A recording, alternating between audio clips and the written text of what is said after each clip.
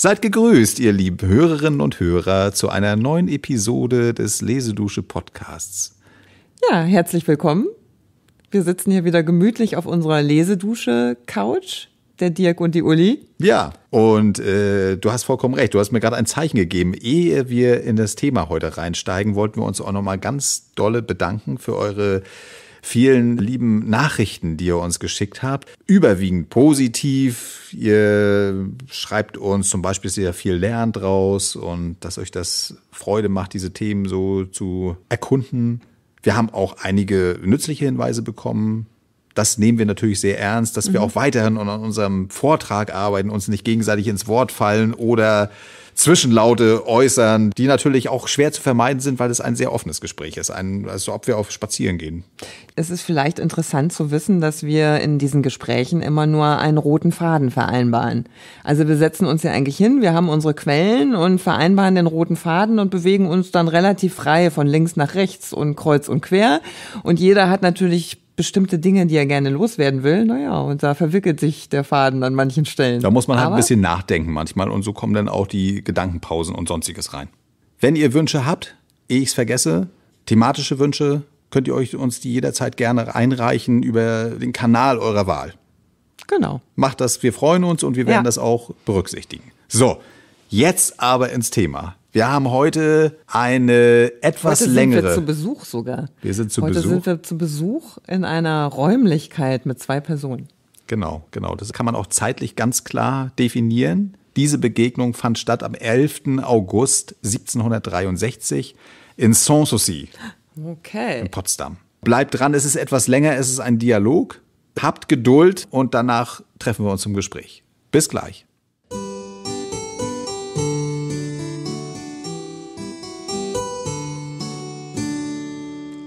Nun aber trat er herein. Ist sie die Poetin? Ja, Ihre Majestät, man nennt mich so. Sie ist doch aus Schlesien. Ja, Ihre Majestät. Wer war ihr Vater? Er war ein Brauer aus Schweidnitz beim weinreichen Grünberg. Aus Schweidnitz. Gehört das nicht den Geistlichen? Bei Lebzeiten meines Vaters war ein Herr von Köselitz der Eigentümer. Aber wo ist sie geboren? Auf einer Meierei, wie Horaz eine gehabt hat. Sie hatte, sagt man, niemals Unterweisung. Niemals, Ihre Majestät. Meine Erziehung war die schlechteste. Durch wen aber ward sie eine Poetin? Durch die Natur und durch die Siege von Eurer Majestät. Wer aber lehrte sie die Regeln? Ich weiß von keinen Regeln. Von keinen Regeln? Das ist nicht möglich.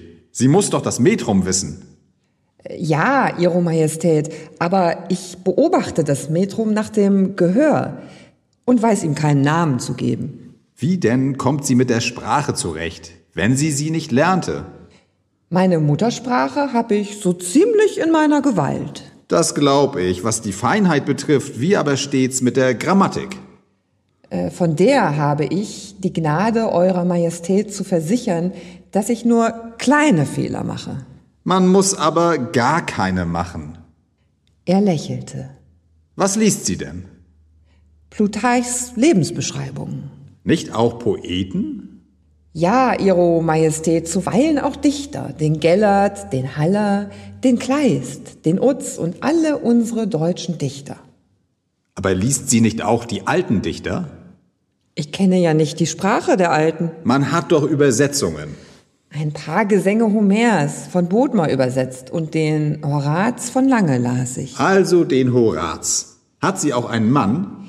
Ja, Ihre Majestät, aber er ist von Ihren Fahnen entlaufen, irrt in Polen umher, will wieder heiraten und bittet mich um die Scheidung, die ich ihm verwillige, denn er versorgt mich nicht. Hat sie Kinder von ihm? Eine Tochter. Wo ist die? Zu Berlin. Hofrat Stahl bezahlt für sie. Ist sie schön? Mittelmäßig, Ihre Majestät. Sie hat keine schöne Mutter gehabt. Diese Mutter war doch wohl einmal schön. Ich bitte untertänig um Vergebung. Sie war niemals schön. Die Natur vergaß den äußeren Putz an ihr. Wie wohnt sie denn? Oh, Ihre Majestät, sehr schlecht. Ich kann kein Haus bekommen in Berlin. Und um Euer Majestät eine Idee zu machen von meiner Wohnung, muss ich bitten, eine Kammer in der Bastille zu Paris sich zu denken. Aber wo wohnt sie denn? Im alten Konsistorium, drei Treppen hoch, unterm Dach. Wovon lebt sie? Von Geschenken meiner Freunde. Hofrat Stahl gibt mir sehr oft zu essen. Wenn sie Lieder in Druck gibt, was gibt man ihr für den Bogen? Nicht viel, Ihre Majestät. Ich ließ acht Lieder auf Ihre Triumphe drucken. Was gab man ihr? Nur 20 Taler. 20 Taler, in Wahrheit. Davon lebt man nicht lange. Ich will schon sehen, will sorgen für sie. Mit diesen Worten entließ mich der König. Ich taumelte den Saal hinaus.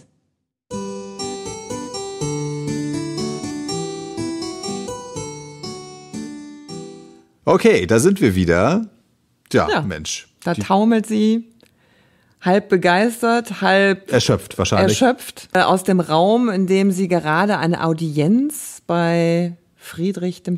hatte. Genau, also das ist auch schon das Besondere daran, diese beiden Personen. Also die, die sagt noch die Frau. Wer ist die Frau? Anna-Luisa Karsch Ja, ist die Frau. ja. Sie ist zu dem Zeitpunkt bereits eine äh, sehr landesweit gelobte Dichterin. Ja. Aber heute würde ich mal behaupten, im Prinzip überhaupt nicht mehr bekannt. Ja. Anders liegt anders der Fall bei Friedrich II. Der ist natürlich nach wie vor in den Geschichtsbüchern präsent. Genau, genau. Und ja, das Datum hatten wir schon gesagt, Zeit und Ort. Bevor wir auf die Dichterin eingehen, noch, noch ein Wort vorweg. Das ist ganz interessant, äh, insofern, dass die beiden, das hat man vielleicht, wir haben es versucht, in der Stimmung festzuhalten. Es ist tatsächlich so, dass die beiden, also sie ist Untertanen von Friedrich II. Sie ist, das haben wir gehört, in Schlesien geboren, und zwar im Jahr 1722, möchte ich hier ergänzen, was sie ja da nicht gesagt hat, und ist zu diesem Zeitpunkt, ist sie noch Untertanen der Habsburger. Schlesien gehört zum Also zum Zeitpunkt ihrer Geburt. zum Zeitpunkt ihrer Geburt, genau, richtig, ist sie den Habsburgern untertan in Schlesien. Zu dem Zeitpunkt der Audienz, also rund 40 Jahre später, sind wir kurz nach Ende des Siebenjährigen Krieges angekommen. Und dadurch ist sie jetzt endgültig preußische Untertanen, weil unser Gesprächspartner Nummer zwei, Friedrich II., äh, sofort nach äh, Beginn seiner Herrschaft Schlesien überfällt oder über, äh, da, dahin marschiert, das den Habsburgern wegnimmt, der Maria Theresia, die da auch gerade anfängt, und es auch tatsächlich nach mehreren Kriegen behält. Und es ist ein Riesenabstand zwischen den beiden, das muss man dazu sagen. Ja, und der ist, wie wir auch wissen, jetzt nicht unbedingt äh, fesselnd interessiert an Literatur, aber die Person, das merkt man ja im Gespräch, fordert ihm doch in einem Punkte einen gewissen, eine gewisse Neugier Ja. ab. Sagen wir mal nicht Respekt, das wäre zu viel gesagt, aber was ihn ja besonders wundert, ist, dass er sagt, wie, wie kommt es dazu, Ja. dass du, liebe Karschen, Dichterin geworden Ja. bist, wenn du doch eigentlich überhaupt nicht die Sprache der Alten kommst. nicht beherrscht, äh, Ja. ja. so gerade mal so lesen, schreiben kannst, aber nicht mal weißt, was ein Metrum ist. So, wa- was ist das? Genau. Wie kommt das? Und das, ist- das bitte, weil ich es auch nicht genau weiß, das skizziere uns doch mal bitte. Wie, wie kann das sein, diese 40 Jahre, 1722 bis, bis 1763, ja, wie, wie kann das überhaupt sein? Ja. Das ist ja, Ja, tatsächlich ein Exoten, ist sie ja für ihn. Also das ist auch, das ist auch tatsächlich meines Erachtens absolut exotisch. Zumindest ist sie jetzt eine der, eine Frau, von der wir das wissen, dass es so passieren kann. Also tatsächlich ist sie, ja, man könnte sagen, also jetzt erstmal als Gedankenaufhänger schiebe ich das mal vor, so eine Art Stehgreifkünstlerin, weil ich finde, das passt sehr gut, um das an ihrem Lebensfaden aufzuhängen. Ja. Also sie wird in ärmsten Verhältnissen in Schlesien als Kind, kind eines Brauers geboren und äh, mit fünf Jahren verstirbt ihr Vater. Da schickt die Mutter sie zu einem Großonkel, der ist Priester, das ist ihr großes Glück. Da wird ihr nun beigebracht zu lesen und zu schreiben. Was ja da nicht selbstverständlich ist in der Zeit, muss man sagen. Ja, also es ist mm, ungewöhnlich. Also für sie sowieso völlig ungewöhnlich und der Mutter ist es dann auch plötzlich so unheimlich, dass sie sagt, so, ich habe jetzt einen neuen Mann geheiratet, jetzt kommst du wieder nach Hause und jetzt wird hier schön geschuftet. Ja. Weil Lesen und Schreiben, Entschuldigung. Bringt uns nichts bringt uns überhaupt nichts. Das können wir nicht fressen. Ne? Mhm. Ja, natürlich. So, ja also ganz klare, also die muss wirklich sehr derbe und sehr hart aufgewachsen sein, mhm. auch mit viel Brutalität, mhm. Alkohol, Schlägen, mhm. allem, was man sich jetzt wirklich mhm. an schlimmen Dingen mhm. vorstellen kann. Aber sie ist schon erfüllt und beglückt durch dieses Lernen einer gewissen Fähigkeit, die sie nur für sich hat, wo sie merkt, das unterscheidet mich jetzt schon mal von dem ganzen Rest, der mich hier umgibt. Dann wird sie als Hirtin verdingt, damit mhm. sie Geld ran schafft. Und da trifft sie nun das zweite glückliche, mhm. das zweite glückliche Zusammentreffen, einen Hirtenjungen, der unglaublich gerne liest, der das auch beherrscht. Immerhin, da haben wir ja schon mal einen zweiten, wo mhm. das passieren kann. Und die tauschen sich aus, tauschen Lektüren, lesen, lesen, große Freude. Das schreibt, äh, erzählt sie später immer noch davon, das war ihre schönste mhm. Zeit in ihrem Leben im Prinzip, die sie genossen hat.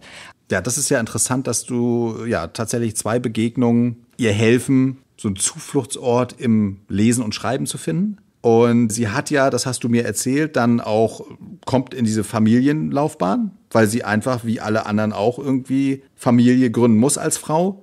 Hat Pech mit den Männern. Der erste lässt sich selbst scheiden. Also sie hat dann zwei Kinder mit dem ersten Mann. Der zweite Mann, mit dem kommt sie auch nicht klar. Von dem will sie sich scheiden lassen. Das läuft aber irgendwie sehr lange das Ganze ist ja auch nicht typisch gewesen. Man ist ja damals auch nicht einfach zum Anwalt gegangen oder zum Gericht hat gesagt, ich lasse mich scheiden und das läuft.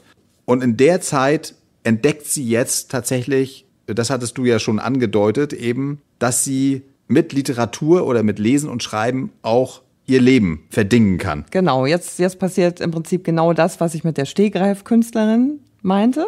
Mhm. Dass sie sozusagen dank ihrer Fähigkeiten plötzlich merkt, sie kann anlassbezogen, zum Beispiel zu Geburtstagsfeiern, mhm purzeln ihr Verse aus dem Munde oder sie notiert sie kurz mhm. und kann sie vortragen zum Gefallen der Gäste. Also da ist sie tatsächlich, ich eigentlich glaub, ist sie ein Unterhalter eher. Im Prinzip gibt's da jetzt gar keine Eine Unterhalterin.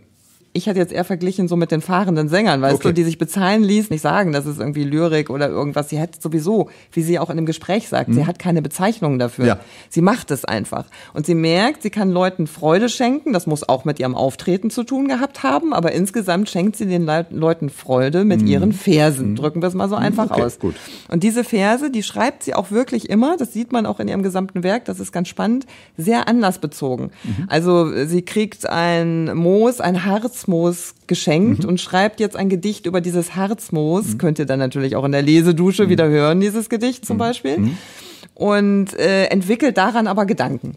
Und das ist wirklich so ein ganz intuitives Schreiben aus dem Herzen heraus, ohne eben äh, viel Nachdenken oder äh, Wissen, äh, sondern Kraft mhm. der schönen Das sagt der, der Friedrich ja auch äh, in dem Gespräch der kommt ja von einer ganz anderen Warte her. Ne? Der, für den ist ein Dichter ein, eigentlich ein halber Gelehrter. So drückt er das ja ein bisschen aus. Und deswegen mhm. ist er ja auch so verwundert über diese Frau, die das irgendwie ja, nie studiert hat, formell auch wahrscheinlich nicht richtig ja. kann. Aber es erklärt es, so, so kann ich es mir auch gut vorstellen, wie du es jetzt erzählt hast, dass das wirklich jemand ist, der ganz spontan, äh, die Worte fliegen ihr zu durch Bilder, die sie irgendwie im Kopf hat. Das ist eine ganz, ganz tolle äh, neue Sache. Deswegen ist der Naturbezug ja auch sehr stark, glaube ich, bei mhm. ihr. Mhm. Und nicht das, was wir bei anderen Dichtern haben, immer diese Rückbezüge auf die Antike. Ne, sondern das ist eine andere Perspektive, die sie auch einnimmt. Und das könnte ja auch dazu beigetragen haben, jetzt müssen wir uns ja so ein bisschen weiter robben in der Geschichte, dass die dann bekannt wird. Jetzt ist sie irgendwie, sagen wir mal, in Schlesien äh, irgendwie in diesem Bereich unterwegs das verbreitet sich irgendwie, ja. dass sie so eine Art was Besonderes, ein Wunderkind ist oder so, sage ich, ich übertreibe das jetzt mal. Und jetzt also kommt spricht sie, sich zumindest in Kreisen herum, wird dann auch weiterempfohlen genau. und, äh, und jetzt kommt trifft sie auf, auf zwei wichtige Personen dieser frühen Aufklärung, nämlich einmal den Herrn Gleim und einmal den Herrn Sulzer. Das sind also zwei äh, Personen, die sind leider so ein bisschen vergessen, weil die spätere, das späte 18. Jahrhundert, das sind ja unsere Stars dann, Goethe, Schiller, Herder und so. Und das ist die Stufe davor, die aber ganz wichtig ist, mhm. weil die eben auch dazu beitragen, dass deutsche Sprache äh, in Mode kommt für die Dichtung und die Netzwerke knüpfen. Und da ist, scheint sie ja, das finde ich jetzt wirklich verrückt dass sie in der Lage ist, auch Briefe ja offensichtlich zu schreiben und sie knüpft überall Kontakte zu diesen Leuten. Mhm. Und Gleim ist auch so ein ganz wichtiger Netzwerker und der scheint dann auf einmal anzufangen, äh, sie auch irgendwie, also A, überhaupt mal ernst zu nehmen, wahrzunehmen und weiter zu empfehlen, weil er auch gerne fördert. Und wir haben auch eine interessante Stelle rausgesucht. Der zweite ist der Sulzer, die sind befreundet. Und Sulzer ist so eine zentrale Person der Berliner Aufklärung. Jetzt kommen wir so langsam in die Nähe, der dort auch organisiert, so Abende und, und, und, und Veranstaltungen Und der kommt eigentlich aus der Schweiz, schreibt jetzt Folgendes an seinen alten Lehrer Bodmer. Hören wir mal rein.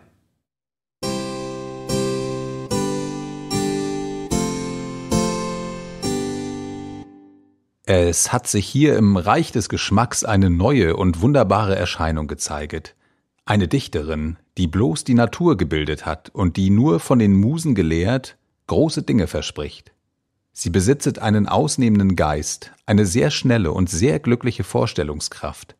Sie drückt sich über alles mit der größten Fertigkeit so gut aus, wie irgendein Mensch tun kann, der sein ganzes Leben mit Nachdenken zugebracht hat und es kostet ihr gar nichts, die feineste Gedanken bei jedem Gegenstand zu erzeugen und in sehr guten Versen vorzutragen. Ich zweifle daran, ob jemals ein Mensch die Sprache und den Reim so sehr in seiner Gewalt gehabt hat, als diese Frau. Dies wunderbare Weib ist ungefähr 40 Jahre alt, hat aber die Lebhaftigkeit und Lernbegierde einer Person von 18 Jahren.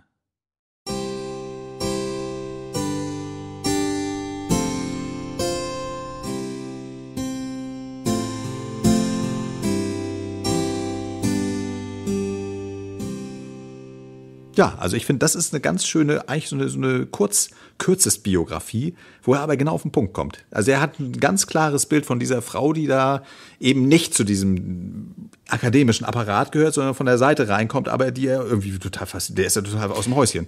Ja, sie muss alle fasziniert haben, die sie getroffen hat jetzt ist wirklich der Punkt erreicht, wo sie in literarischen Zirkeln, das ist jetzt das Entscheidende und das ist ja auch das, was der Sulzer beschreibt. Ja. Da kann ja nun jeder kommen, der sein Leben lang nachgedacht hat. Mhm. Die stellt sich ja einfach hin, die ja, Frau. Eben. Und äh, die erweckt unsere Herzen, die begeistert uns, die macht genau was, was dieses ganze Verkopfte vielleicht nie mit uns machen kann. Ja. Das macht einfach Freude, das ist irgendwie greifbar und direkt und deswegen lieben wir diese Frau. Ja, und da ist sie jetzt so weit, dass Gleim höchstwahrscheinlich das vermittelt hat, dass ihre ganz, das sind ja viele Gedichte, auch tatsächlich gedruckt werden, verlegt werden. Das Buch erscheint 1763, ist datiert auf 1764, aber man weiß, dass es schon 1763 da war. Also genau fällt zusammen mit der Audienz. Da sind wir, haben wir den Kreis geschlossen. Und da ist sie tatsächlich auch in Berlin jetzt inzwischen angekommen. Die, und sie ist ja auch dem König deswegen so auf den Fersen, muss man sagen. Das sagt sie ja ziemlich klar dass sie Geld braucht. Sie wohnt da, sie muss da als in der Miete, sie hat ständig Geldprobleme. Mhm. Und jetzt geschieht das Wunder, dass sie jetzt so berühmt ist tatsächlich, dass dieses Buch sich so gut verkauft, dass sie da einen Gewinn erzielt. Und zwar von, das ist wirklich Wahnsinn, 2000 Talern mhm. sollen übrig geblieben sein, die dann für sie als Honorar. Ein Vermögen. Ja, tatsächlich. Das Tragische daran, dass sie daran nicht rankommt. Weil diese Scheidung von dem zweiten Mann, von dem Herrn Karsch, noch nicht durch ist und insofern ist sie kein rechtsmündiges Subjekt. Sie, sie darf nicht selber Verträge oder sonst was abschließen und darf auch nicht eigenständig handeln. Das heißt, dieses Geld, ganz dramatisch, muss jetzt von einem der Freunde äh, aus dem weitesten Kreis muss eigentlich als, der, der ist ein Verwalter sozusagen, der mhm. hat das zumindest, damit das nicht missbraucht wird und sie kriegt dann die Zinsen daraus.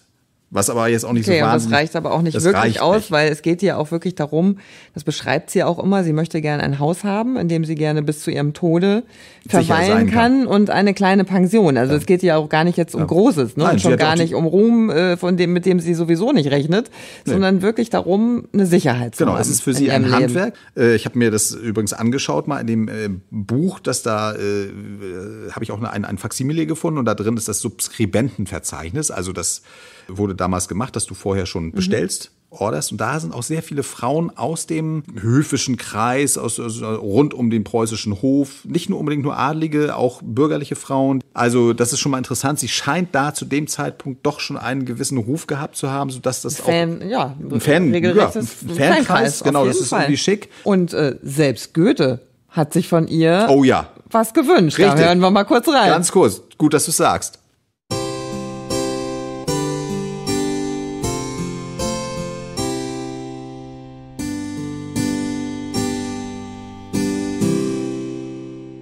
Schicken Sie mir doch auch manchmal was aus dem Stegreife.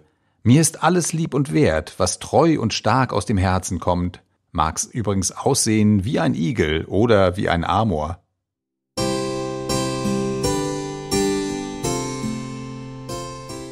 Ja, also das ist ja richtig, der bettelt ja recht rum, der, der Junge. Ne? Aber interessant, also da ist die Popularität noch größer, das, was sie auch rausstrahlt, und nichtsdestotrotz war sie sich vollkommen dessen bewusst, dass das alles nur Schall und Rauch ist. Ja, das da. finde ich nur wieder einen genialen, äh, aber das passt so zu ihr. Also ich glaube, sie ist da auch so echt in dieser Sache.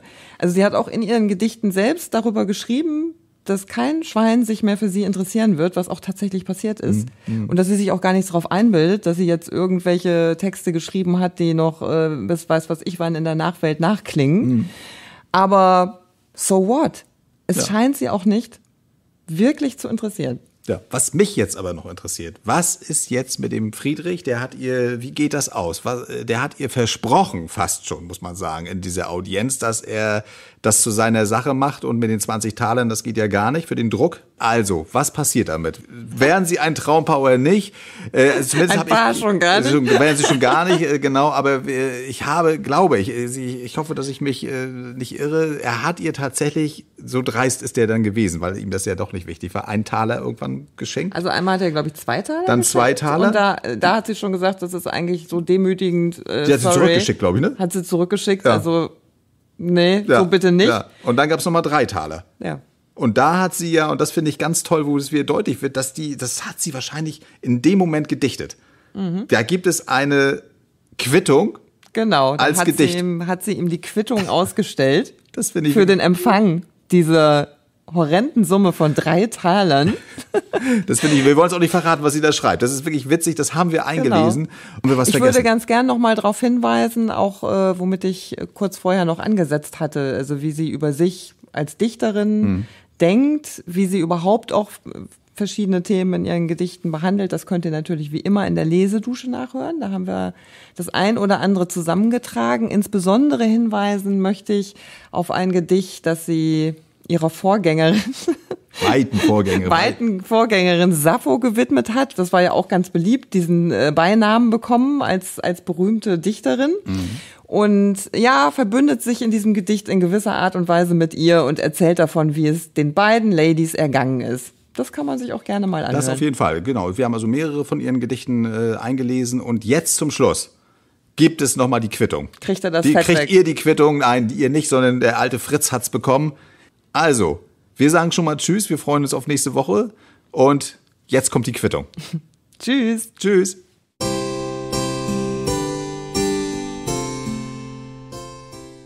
An Quittungsstadt geschrieben im Jänner 1783. Seine Majestät befahlen, mir anstatt ein Haus zu bauen, doch drei Taler auszuzahlen. Der Monarchbefehl ward Trauen, prompt und freundlich ausgerichtet. Und zum Dank bin ich verpflichtet. Aber für drei Taler kann zu Berlin kein Hobelmann mir mein letztes Haus erbauen. Sonst bestellt ich ohne Grauen heute mir ein solches Haus, wo einst Würmer Tafel halten und sich ärgern übern Schmaus bei des abgegrämten, alten, magern Weibes Überrest, die der König darben lässt. Lesedusche. Entdecke die wohltuende Wirkung des Lauschens.